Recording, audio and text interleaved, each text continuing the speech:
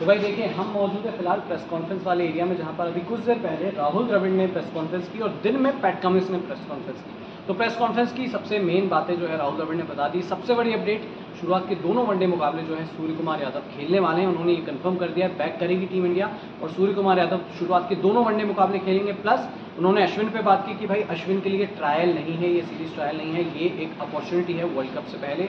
और साथ ही साथ उन्होंने कहा कि भाई, रोहित और विराट को जो रेस्ट दिया गया शुरुआत के दो वनडे में, क्योंकि सवाल उठ रहे थे। तो रोहित विराट को रेस्ट देने की वजह यह है कि वो फिजिकली और मेंटली उन्हें फिट रखना चाहते हैं फ्रेश रखना चाहते हैं वर्ल्ड कप से पहले, इसलिए रोहित विराट को रेस्ट दिया गया। प्लस उन्होंने ये भी कहा कि फास्ट बॉलर्स को इस पूरी सीरीज़ में रोटेट किया जाएगा। यानी कि हो सकता है आपको सिराज बुमराह एक साथ खेलते देखें या फिर शामी बुमराह खेलते देखें या फिर सिराज शामी जो है खेलते देखें। प्लस उन्होंने पूरी टीम इंडिया पे बात की और उम्मीद करी कि भाई जो पूरा ये मैच है, ये जो पूरी सीरीज़ है, वो उम्मीद करते हैं। वर्ल्ड कप से पहले एक अच्छा कैंपेन है और इसीलिए शुरुआत में दो वनडे में रोहित, विराट, हार्दिक और कुलदीप यादव को रेस्ट दिया है। तीसरे वनडे में राजकोट में सारी जो मेन टीम है, जो वर्ल्ड कप का स्क्वाड है, वो वहाँ पर खेलेगा और श्रेयस अय्यर और रविचंदन अश्विन पर सबसे ज़्यादा नज़र रहेंगी पहले वनडे में और दूसरे वनडे में और तीसरे में भी, क्योंकि ये तीन वनडे वर्ल्ड कप से पहले बहुत इंपॉर्टेंट है।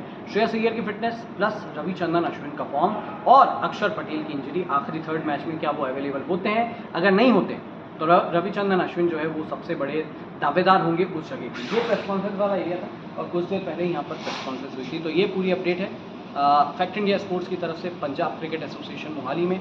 और देखिए हम फैक्ट इंडिया स्पोर्ट्स जो है ग्राउंड पर पहुँच चुका है। लाइव अपडेट दे रहा है लाइव रिपोर्टिंग भी होगी, हर चीज़ होगी। चैनल को सब्सक्राइब ज़रूर करिएगा।